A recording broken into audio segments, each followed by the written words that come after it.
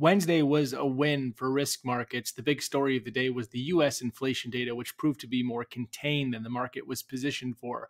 Of course, more contained inflation data plays to the Fed's narrative of lower for longer. And this is something that investors are going to love, and the dollar not so much. So, nothing surprising as far as market reaction goes. Interestingly enough, as much as inflation didn't tick up above expectation, it did tick up from previous prints overall. And this is something that we believe should not be overlooked. So, with that said, we don't think we should be expecting any meaningful continuation of equity market strength and dollar selling on this news.